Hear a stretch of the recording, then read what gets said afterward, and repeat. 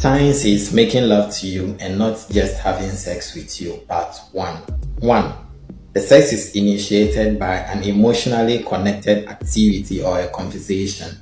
2. There is an intense eye contact throughout the sex. 3. There is a lot of kissing during, before, and after the sex. 4. They hold you close after sex. 5. They are gentle and affectionate during sex.